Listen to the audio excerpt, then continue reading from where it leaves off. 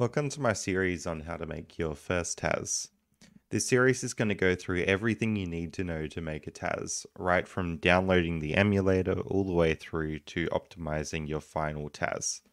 You might have some slight differences from this series with what game you want to pick, what console you want to TAS on, and so on, but this advice is hopefully very general and it should give you all the skills you need to make your first TAS. Okay, the very first thing we need to do before we start TASing anything is we need to go to tasvideos.org and download an emulator. Now, most consoles can be emulated through something called BizHawk, aside from things like GameCube, which would use Dolphin and some other stuff. So, um, if you're not sure, probably just grab BizHawk. That's your best bet.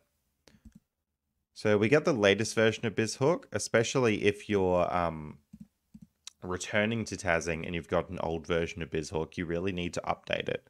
Because um, if you look at all the changes, they have like sync settings for all the consoles. So something in BizHawk for, say, PlayStation could be different than an old version of BizHawk. And generally, the emulator gets more close to the console. So if you did your TAS on a really old version of BizHawk, it may not be accepted because old versions are inaccurate. So we go ahead and download ourselves the latest copy of BizHawk. Okay, at this point I've downloaded BizHawk 2.52, extracted it, and put it in this folder with all my other versions of BizHawk. Um, so if you open up EmuHawk, that is BizHawk. Uh, this is what it looks like. You have lots of options, open ROM, and then all these config options and stuff. Uh, before you do anything on this, we're going to actually need a ROM because it's kind of like having a console. If you don't have a cartridge or a ROM plugged in, then it won't do anything. Uh, so there's potentially another thing that you also need, which is firmware, but that depends on uh, what type of console you want to TAS for.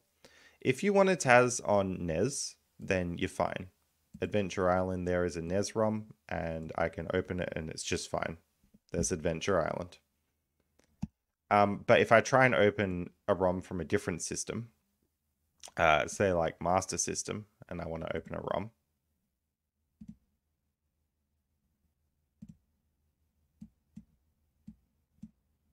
I need the required firmware. Uh, so firmware, there's lots of different types of firmware. I'll just show you like all the different types. So if you wanted to TAS pretty much any of these consoles, you would need firmware. So most likely you're going to need firmware. Uh, getting firmware is a very similar process to getting a ROM. I mean, firmware literally is just a ROM. Uh, so if you do a search for what console you want, you can usually find the firmware pretty easily.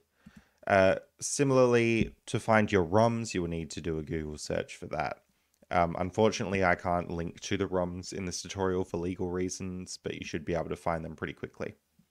Now, in this tutorial, we're going to be doing a Sega Master System game called Castle of Illusion. Uh, so you can go ahead and download the firmware for the Master System and a ROM of Castle of Illusion.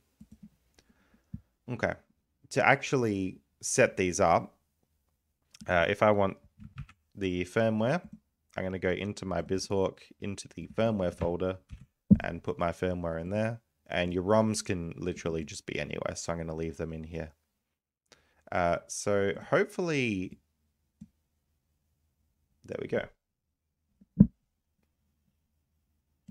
So the whole reason for having the firmware there is to display that little splash screen for Sega Master System, and then the game should boot. Um, one last thing about ROMs, you may be finding many, many different versions of the ROMs. So like EB or U, and you've got different version numbers. Uh, quick rundown, uh, E means Europe, and U means the US. And you often also have J, which is Japan, and sometimes some other stuff like K, which is Korea. This B here means for Brazil. Um, and that so they're just the reasons. Generally, to be safe, you'll want to TAS on the US version, so you'll want something with a bracket U at the end of that. Um, but it depends which version is fastest. Uh, if we have a look for Castle of Illusion on TAS videos. There is a TAS of this already published.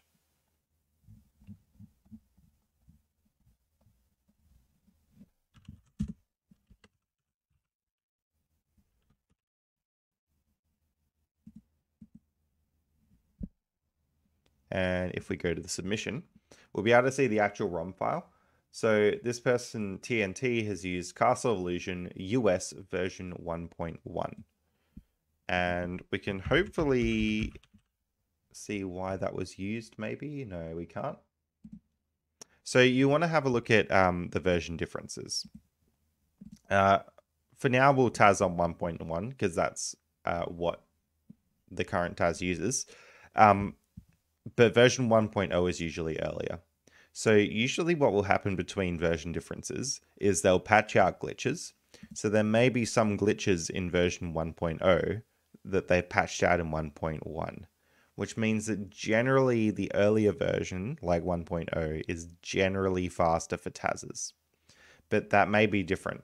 Sometimes in 1.1 they can adjust like some slight physics or something, and that might make that might make things slightly quicker. Um, so you never know. You need to do your research on which version is fastest. So which region is fastest, first of all. Usually it's US or Japanese, and then which version is fastest. Just another little note. Um, if I open the US version of a game and we turn on everything, so our frames per second and everything, we can see this is running at 60 frames per second. Um, but if I open the European version of the game, you can see that it runs at 50 frames per second. And this is the same for a NES game as well. Uh, so the US version of a NES game will run at 60 frames per second. And if I had the European version of this game, it would run at 50 frames per second.